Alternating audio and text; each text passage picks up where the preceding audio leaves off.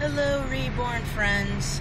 I wanted to thank everybody for the kind comments and PMs that um, you guys sent to me for the incidents that happened. Um, one, the first incident, you know, in terms of the hate mail and um, the schemes that people were trying to pull on me. And there were others. I just, you know, spoke of that one um, that they try to pull regarding Dakota and my adoption of Dakota and their unhappiness and making believe stuff, blah, blah, blah. You know what I mean?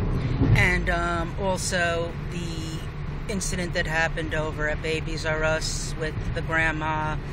And um, I appreciate it. I really, I guess I needed um, acknowledgement that, um, you know, my hobby and your hobby is okay and there's nothing wrong with it. And even though I see, I know this intellectually, but emotionally, it hurt me, and then it starts making me question whether or not I'm correct.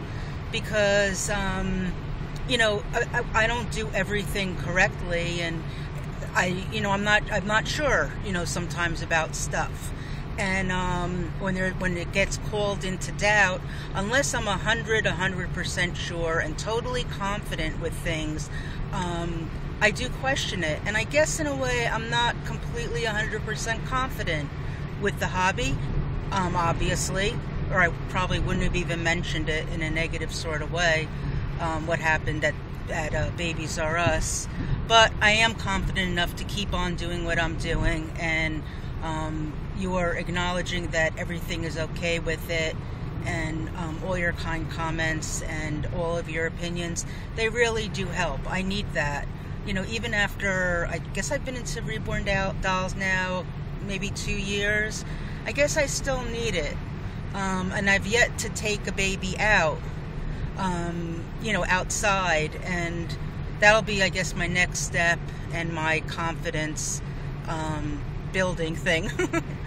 so I just wanted to thank everybody. Um, I read every one of your PMs, I read every one of your comments, and I totally appreciate it. And I knew you guys would be there for me. I knew it. I just needed to read it, you know? Um, so thank you so, so much. And thank goodness it's a beautiful day here in New Jersey. It's cold, but beautiful and um, I watch for my next few videos. I have two more babies for sale, which I'm going to be um, showcasing. And um, keep on having a good week, everybody. Hopefully, you are. And happy Tuesday. Tomorrow's hump day, so um, I may celebrate. Will you? okay, bye, guys.